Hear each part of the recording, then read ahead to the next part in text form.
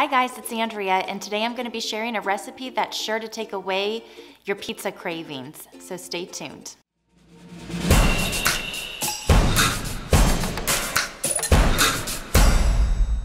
If you're enjoying our videos, please like, subscribe, share, and hit that bell button. So today's recipe, I am gonna be making cheesy cauliflower breadsticks.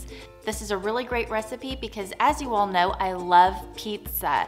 But this is cheesy breadsticks, so this is really gonna satisfy that craving for carbs and cheese. Sometimes we have that, right? I really love this recipe. It's also vegetarian, so any of you vegetarians out there, this is gonna be the recipe for you. So I have everything laid out for you that is in this recipe. We are going to be using one cup raw cauliflower, fourth cup liquid egg substitute, one cup shredded reduced fat mozzarella cheese, 1 8 teaspoon garlic salt, 1 4 teaspoon dried basil, and 1 4 teaspoon dried oregano.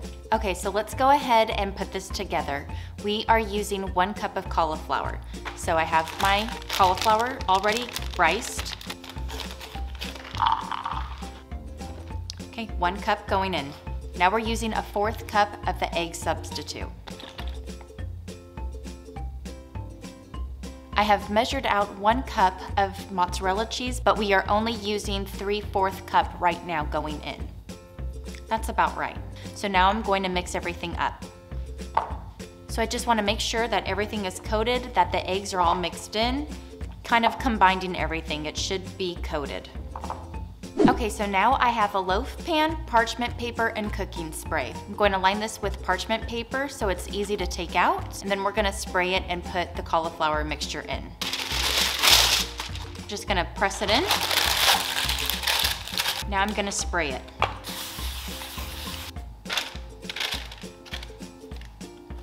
Now I'm just gonna spread the mixture out and make sure that it's all covered the bottom of the pan.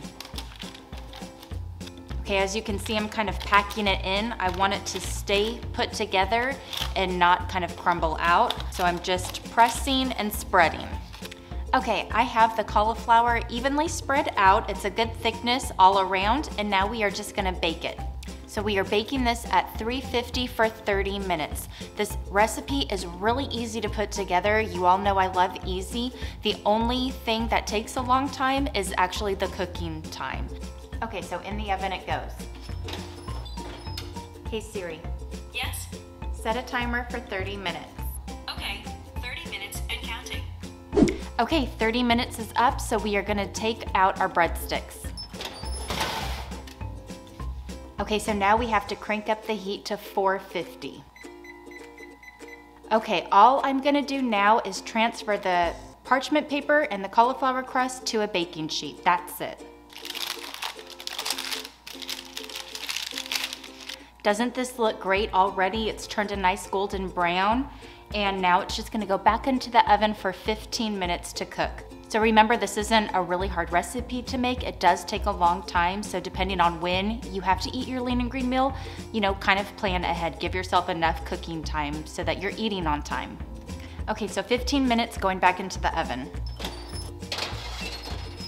You know, I'm actually gonna do 12 minutes instead because my oven does cook fast. So you know your oven, kind of think of that too. We don't wanna have burnt breadsticks. Nobody wants that. Hey Siri, I'm here. set a timer for 12 minutes. Okay, 12 minutes and counting. Perfect. Okay, timer's done. Now it's time to take it out again. Okay, so now what we are going to do is let this cool and then we're going to cut it into strips. Then I'm gonna sprinkle on the cheese and our seasonings and then bake it one last time for 10 minutes. Okay, so it's cool enough to touch and now I'm just gonna slice up the cauliflower breadsticks. Okay, so this is looking so good. I can't wait to eat this. If you love carbs and cheese, this is definitely the lean and green for you. And honestly, who doesn't like bread and cheese? Come on. Okay, so I'm putting the breadsticks back on. So this is the leftover cheese I didn't use in the recipe to begin with, and now we are going to just put the spices in. Okay, so 1 8th teaspoon of garlic powder is going in, a fourth teaspoon of dried oregano, fourth of basil. I have it mixed up and now I'm just going to sprinkle it over the top of the cauliflower.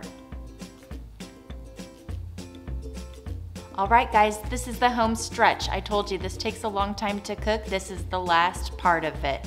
So it should go in the oven for 450 for 10 minutes, but because my oven works so well, I'm, I'm probably gonna do six and see where I'm at, maybe seven. So I'm gonna just put it in the oven. This is the last part, I promise you. We're about to eat cheesy breadsticks, guys.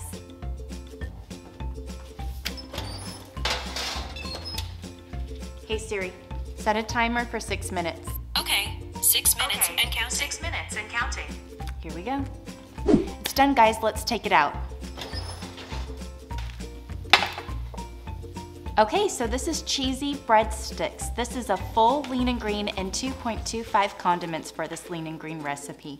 I can't wait to eat this. I love pizza, I love bread, I love carbs, I love cheese. This is going to take care of my craving for that, and guess what? No guilt is going to be involved in this. There is no carbs in this. This is eating healthy. This is how I lost my weight. This is how I maintain my weight loss as well. Okay, so let's plate this. Ooh, look at this, guys. Cheesy, cheesy, cheesy. Oh, I'm so happy you have no idea. Ooh. Ooh. I'm so excited. Okay, so I just had to go and pull this out of my pantry because if you did want to dip your breadsticks in marinara sauce, you could totally do that. And this stuff is great and program approved. One fourth cup is what you could use to go towards your green. So this is something that I could make for my boys and totally get away with doing this too. They won't even know that it's really cauliflower. It's so it's tricking my boys. My nine-year-old Mason is begging for a breadstick.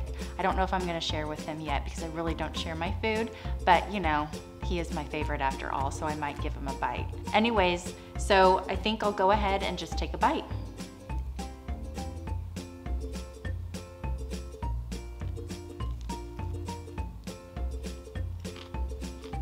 Mm. Guys, that is so good. If you do meatless Mondays, are vegetarian, maybe just don't want to have meat one night, this is definitely a lean and green that you need to try. Wow, that is so delicious.